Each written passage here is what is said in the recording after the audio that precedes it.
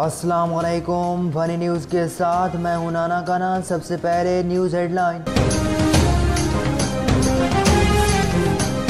शफकत महमूद के कोरोना में मुबतला होने के बाद कोरोना की पाँच छः लहरें इकट्ठी आने का खतरा मुंडलाने लगा, जबकि यूनिवर्सिटियों में रिज़ल्ट कार्ड के बाद शादी कार्ड मुहिम का जल्द आगाज़ कर दिया जाएगा।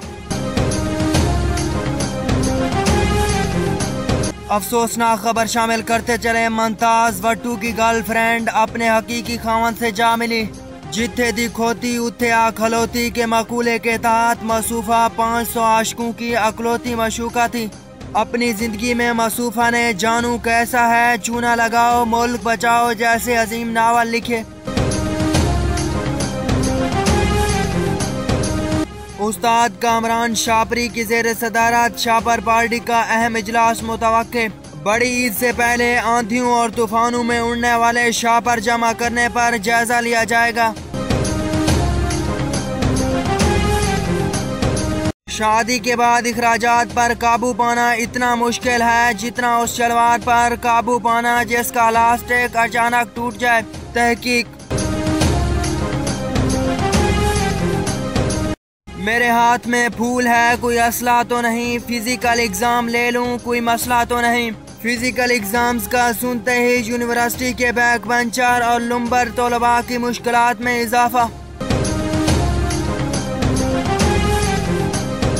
रिश्तेदारों को तनख्वाह कम बताओ तो इज़्ज़त नहीं करते, ज़्यादा बताओ तो पैसे उधार मांग लेते हैं। समझ नहीं आती, बंदा इज़्ज़त बचाए या पैसे? इंजेक्शन लगाने से कोई मर नहीं जाता, फराज बस उठने बैठने के अंदाज बदल जाते हैं। मियावाली में कोरोना वैक्सीन का इंजेक्शन लगवाने के बाद न्यूज़ एंकर नाना खाना के करीबी साथी, चाचा खैरू को सेल्फी लेने का होश तक न रहा।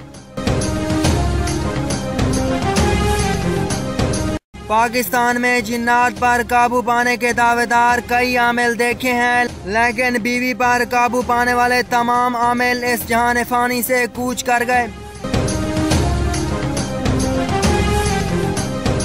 पुराने जमाने में फादर डे नहीं होता था, बाप का जब दिल करता, जूता उठा के औलाद को याद करवा देता कि मैं बाप हूँ।